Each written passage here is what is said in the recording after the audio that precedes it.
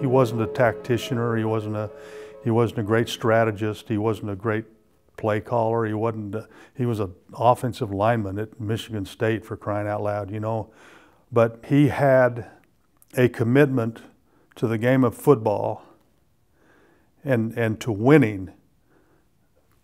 You know, like nobody I've ever been around in my life. Coach Kush, being as demanding as he was, is as a coach, uh, some of these players, some of my teammates, wasn't accustomed to uh, the, the, the roar, the growl. All Coach Kush wanted was you to do your best. That's all he wanted. Frank liked the kids with the lesser talent that worked the hardest.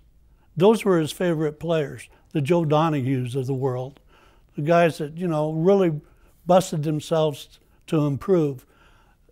The better player you were, the more harsh treatment you received, I think, because he wanted you to get the absolute best out of yourself.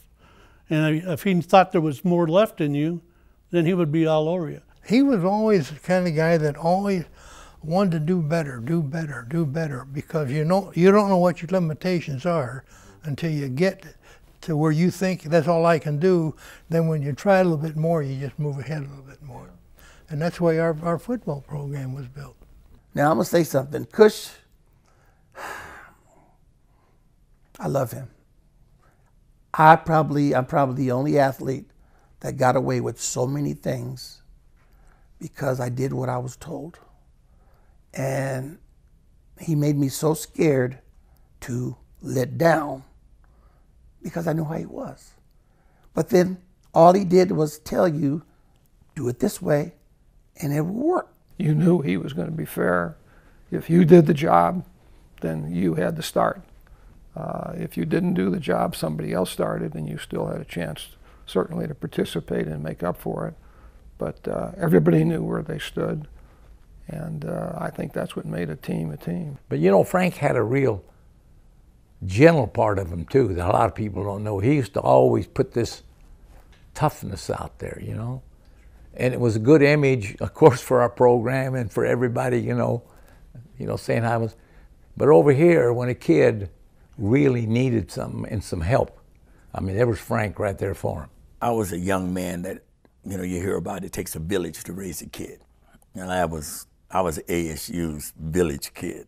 okay, so and, um, you know, I got in some trouble, and, you know, I, Coach Kush had to let me go from the team for a year. Where I had to go meet with the president of the university. Coach Kush um, went to bat uh, for me, and he showed me a number of letters that said, don't let him back in school.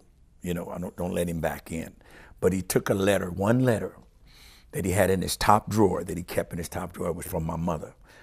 And she asked Coach Kush, would he please give her son another opportunity. And he said, Because of this letter right here, I'm going to give you a chance. And what you do with this opportunity will make a difference for another kid that might come through here that needs a second chance.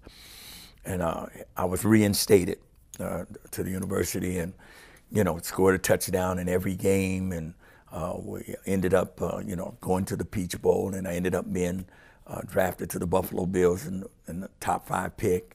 Um, and so what I learned, Coach Kush showed his love through discipline. And if, and if he just wanted you to be the best, and if he saw you as a young athlete that had talent and wasn't producing, well, his job, he felt, was to get that out of you. He got out of me a football player, a quarterback that I never, ever dreamed I could be or, or could have done on my own without the system. He created an environment at ASU where you could exceed your own potential.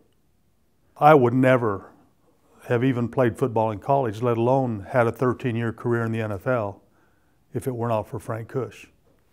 As I look back on it after 50, 60 years, of the hundreds of thousands of kids that he helped, of which I'm one, and that uh, that's truly what he'd want to be measured by. And I think he's at the right place, standing by the, the stadium in the shade and uh, otherwise he'd be complaining about the heat.